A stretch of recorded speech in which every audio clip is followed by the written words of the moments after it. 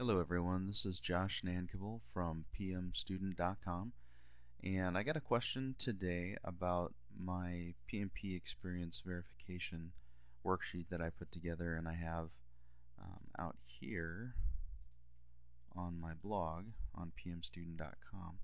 So I wanted to just quickly go through uh, an example and walk through the spreadsheet really quick to help out a little bit and I'll go back and put this as an embedded video in this post here.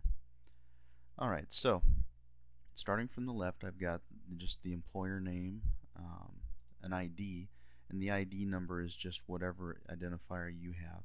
When I worked for a company called, well, most of you probably know about Citibank, um, when I worked there we had an internal uh, system where we kept track of uh, our, our small projects um, this way.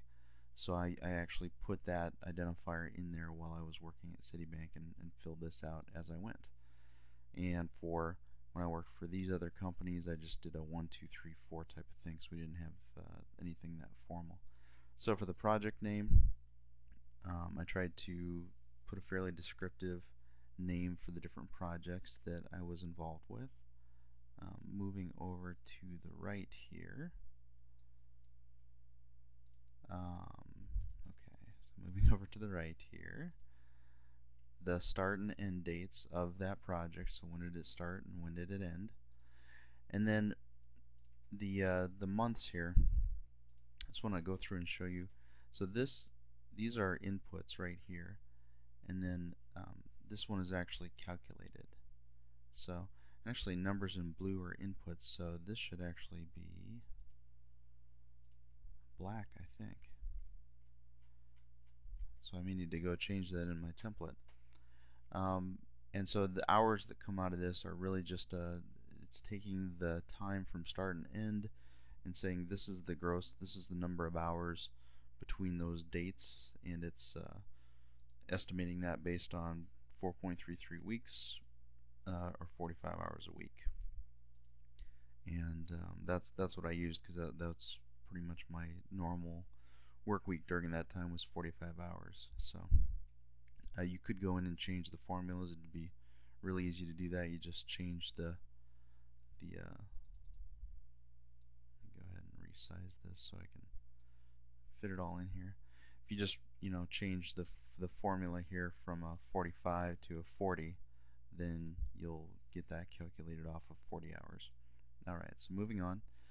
Um, the factor means how much of your time was spent on this project during that time.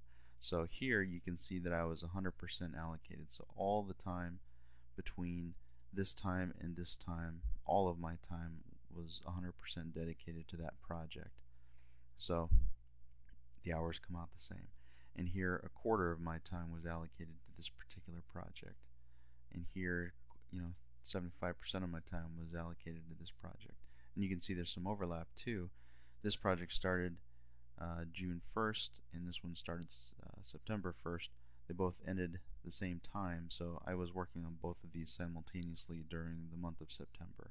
And that's okay as long as you you know you don't have yourself overbooked. I mean this needs to reflect reality.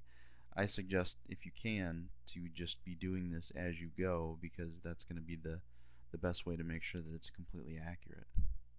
Alright, so now on the distributions, I took uh, between the, the, the five um, process groups for PMI for in the PMBOK, the initiate, plan, execute, control, and close, um, what percentage of my time was spent on these different things. And you can see that during the time that I was at this particular company, um, it was pretty regular. And this is an estimate. This is not something that uh, that I know 100% sure, but I'm reasonably sure that this is pretty accurate. So about 65% of my time was spent at, at that time on execution, 20% um, on planning, and 5% on the other three areas. You'll notice that um, as as I kind of progressed through my career uh, and got some more experience, I tended to actually plan quite a bit more, uh, doing a lot more planning and spending less time on the execution. Uh, part of that was because uh, as I progressed, I had more and more of a strict project management role on the projects, whereas before I was the lead developer on a lot of these projects as well. So uh, towards the end there, there was there was more projects where I was strictly a project manager. Uh, this total is just uh, doing a sum to make sure that you're not going over. So if I would have accidentally put in 10% here, it would have flagged that for me, and so that's just a double check. Okay, so this is uh, calculated distributed hours. So whatever you put in here, it takes the net hours from there. 5% of that is going to be what gets put in here. So all the way across, you get this tallying of your hours. And if you go down to the bottom, then you can start seeing um, you know how many total hours across the entire um, group of projects you spent during doing these different things.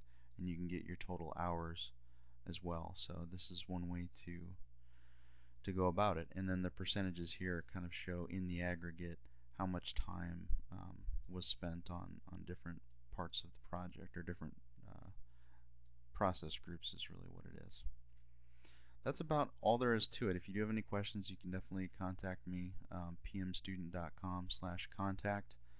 And um, I hope this template helps.